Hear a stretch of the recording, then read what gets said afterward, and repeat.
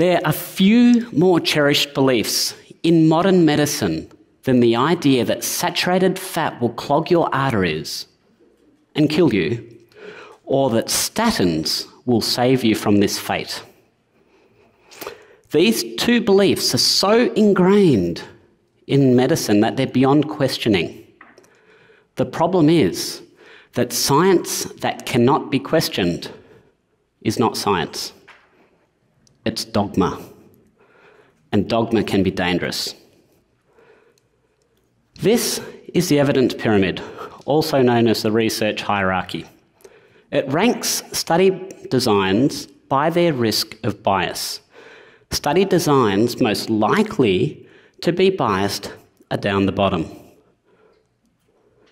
The poorest level of evidence within this hierarchy is that of expert opinion. In essence, expert opinion is the reliance on eminent individuals or organisations to deign what they consider to be the truth. And another phrase for this is eminence based medicine. Basically, relying on the credentials rather than facts, taking whatever we've been told on faith. Eminence based medicine is more about the messenger than the message.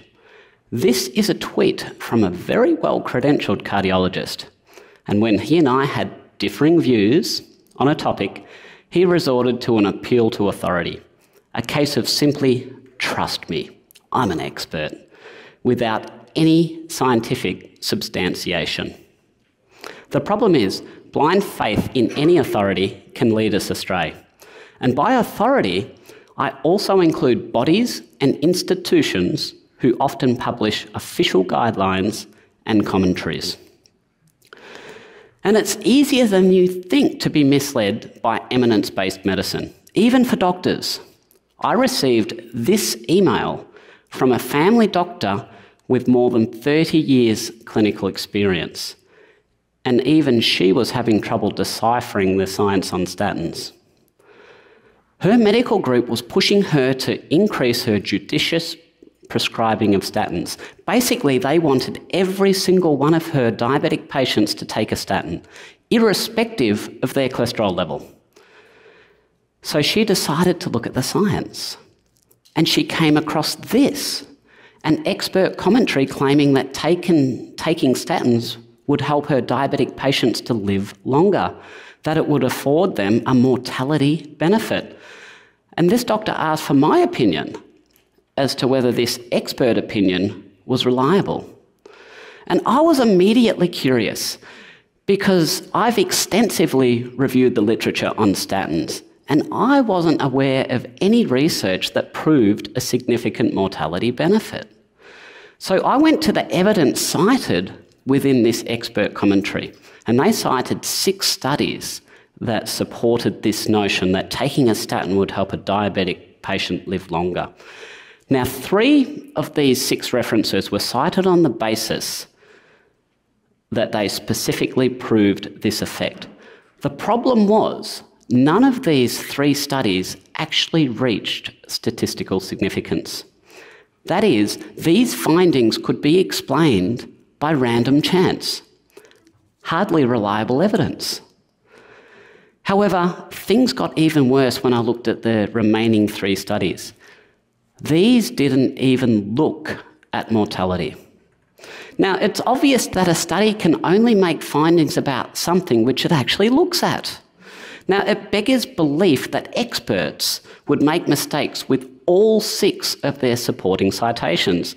Literally, none of the studies they cited in support of the mortality claim in actual fact did so. Charitably speaking, they must have been more confused than a chameleon in a bucket of Skittles.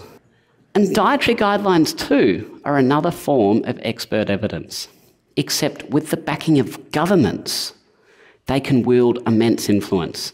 The problem is, our dietary guidelines were born of bad science and still have not recovered. The origins of our modern dietary guidelines date back to 1977 with a US Select Committee meeting on nutrition, which was convened by this man you see here, Senator McGovern. And while ostensibly this committee was set up to evaluate the science, when you mix science with politics, you get politics. And indeed, that's what we got. Robert Olson, a leading scientist of the day, pleaded with Senator McGovern to allow for a complete review of the science. But this is Senator Olson cajoling, pleading. Senators don't have the luxury that a research scientist has of waiting until every last shred of uh, evidence is in. Basically, McGovern said to Olson, uh, you know, would like to, but we don't have, we're politicians, we don't do science. And McGovern's refusal to allow a proper scientific process, I believe, was pivotal in the end result. You see, even in 1977, there were more than 70 randomised controlled trials against the notion of restricting dietary saturated fat. And despite this evidence, failure of the scientific process, driven by a political agenda, resulted in the production of dietary goals for the United States, which recommended the avoidance of saturated fat. And these dietary goals evolved into dietary guidelines under the watchful eye of this lady, the vegetarian leaning Louise Light. Though again, not without significant political influence. Louise recounts how initially her team recommended grain consumption be limited to two to three serves daily. And after review by her masters in the Office of the Secretary of Agriculture, this was inexplicably increased to 6 to 11 serves per day, perhaps to help reduce a massive grain surplus brought about by government policies. And this recommendation, you can see, made its way into the food pyramid down in the bottom right. Furthermore, Louise recounts that Congress legislated to compel all of the feeding programs administered by the USDA, including school, breakfast and lunch, daycare programs, so on and so forth, to meet this expanded grain requirement. In other words, this ridiculous quota was mandated by law. How's that for influence? And while we've done away with the food pyramid, the plate which replaced it still decries saturated fat. One not so subtle shift in recent times has been an increasing hostility to red meat, again without a valid scientific basis. The fact is, those who made our current dietary guidelines, as with Senator McGovern, have resisted calls for a scientific process. As a part of the public consultation process during the development of our guidelines, this submission was made. It requested that a comprehensive evaluation of the science into carbs and fat be conducted. And yet, this request was dismissed out of hand with this non sequitur claiming there was insufficient evidence to institute a review of the evidence. To me, this looks like obstruction of what was meant to be a scientific process. Of course, this obstruction didn't extend to every submission. This one, which looks suspiciously like it was from industry, received a positive response. The committee seeming to agree with the notion of encouraging the consumption of junk food. The problem is, reviews within, without a systematic process to evaluate the science risk selective referencing of the literature, cherry picking, if you will. This is incredibly common amongst expert commentaries and guidelines. In the 1960s, for example, there were four trials that specifically examined the effect of modifying the diet in the prevention of heart disease. And only one, the Oslo study, found any suggestion of benefit from restricting saturated fat.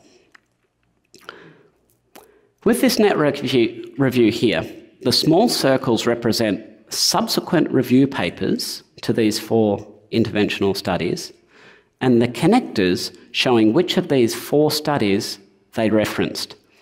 You can see the outlier study, shown by the big blue circle, was by far the most referenced paper. Concerningly, it was often the only referenced paper by a good number of these review papers. This is cherry picking in action. We also see that cholesterol lowering trials with favourable outcomes are cited six times more often than those with unfavourable outcomes. In effect, a single paper in favour of lowering cholesterol will have the same degree of citation influence as six papers finding no benefit. This results in a huge distortion in our perception of scientific findings. At the end of the day, expert opinion, including dietary guidelines, is at the very bottom of the evidence hierarchy. Now, dragging ourselves up off the bottom, we get to mechanistic studies. Mechanistic studies, in the purest sense, occupy themselves with understanding the underlying reactions and mechanisms, often at a molecular level, that lead to disease. Let's take a look at, at an example of the misuse of mechanistic research to propagate the myth that red meat causes bowel cancer.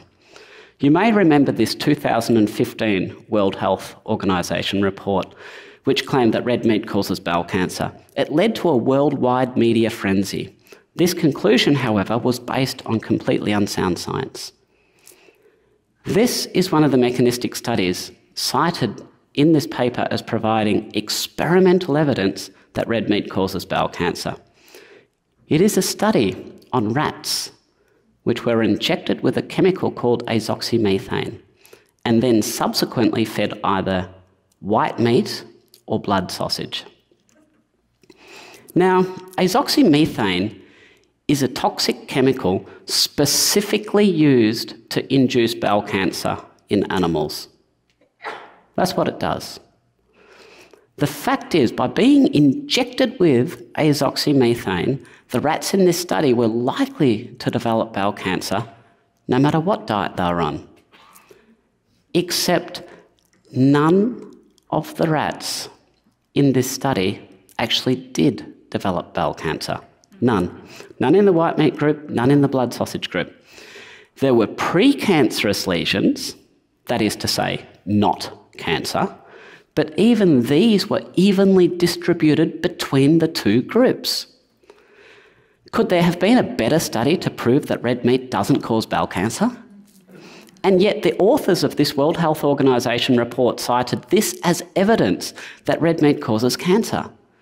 You can't even make this up. After you've processed that, ask yourself could this have been an honest mistake?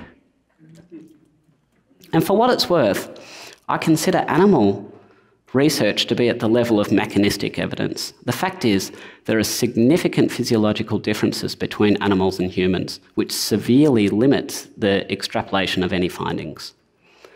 Take thalidomide, a drug unleashed on pregnant mothers to treat morning sickness. It has devastating consequences on unborn humans. And yet, this effect is not seen in rats. Clearly, findings in animal studies do not always translate to humans a point that didn't seem to bother Nikolay Anichkov, who posited that dietary cholesterol causes atherosclerosis in humans on the basis of research where he fed rabbits cholesterol dissolved in vegetable oil. Now, this is not to say that all animal research should be discounted. For example, in this study, 44 rats were given an experimental cholesterol lowering drug you're looking at the sole survivor, the other 43 having died. Now, if this research had been taken as a warning and followed up by more specialised human research, it might have prevented this cholesterol lowering drug, triparanol, from ever being brought to market. A move which would have saved thousands of people from needless suffering, including this 10 year old boy who you can see with a permanent cataract.